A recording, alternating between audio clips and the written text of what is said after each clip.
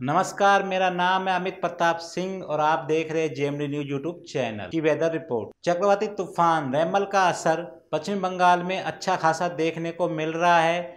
रेमल के असर से पश्चिमी बंगाल में बीती रात भारी बारिश होने से और 135 किलोमीटर प्रति घंटे की रफ्तार से हवाई चलने के कारण सोमवार की सुबह जनजीवन अस्त व्यस्त हो गया। वहीं शुरुआती रिपोर्ट में पता चला है कि इस चक्रवाती तूफ़ान ने बंगाल के सागर द्वीप और बांग्लादेश के खेपूपारा के बीच के तटीय इलाकों पर भारी तबाही मचाई है। रेमल से तटीय इलाकों को हुई क्षति को साफ़ तौर पर देखा जा सकता है। झोपड़ियों की छत हवा में उड़ गई, पेड़ उखड़ गए और बिजली के खंभे गिर गए। जिस कारण कोलकाता सहित पश्चिम बंगाल के कई हिस्सों में बिजली की आपूर्ति प्रभावित हुई है, चक्रवात रेमल का आज भी असर देखने को मिल रहा है। बंगाल के कुछ इलाकों में सोमवार सुबह से तूफ़ान और भारी बारिश जारी रही।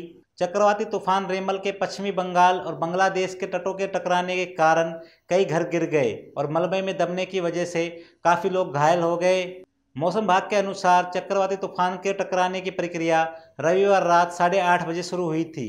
तूफ़ान ने संपत्तियों को भारी नुकसान पहुँचाया है। कई इलाकों से जल भराव की खबरें मिल रही है, जिसके कारण प्रभावित लोगों की मुश्किलें और बढ़ गई है। तूफ़ान के कारण भारी बारिश हुई, जो सोमवार सुबह भी जारी रही और घरों एवं खेतों में भी पानी भर गया।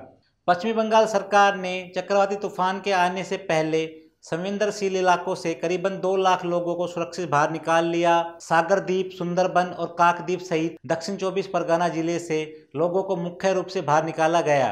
लोगों को बाहर निकालने से निश्चित रूप से हज़ारों जिंदगियाँ बच गई, लेकिन संपत्ति को भारी नुकसान पहुँचा है। उत्तर व दक्षिण चौबीस परगना ज़िले और पूरी मेदिनीपुर जिलों में भारी नुकसान की सूचना है।